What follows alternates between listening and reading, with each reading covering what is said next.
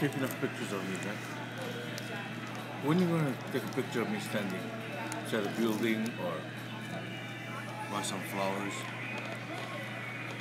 And not when I'm sitting on a toilet bowl, stuffing my face with cookies. That was hot.